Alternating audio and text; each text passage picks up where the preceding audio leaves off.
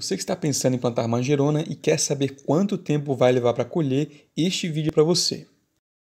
A colheita das folhas da manjerona começam mais ou menos entre 60 e 90 dias depois que você plantou.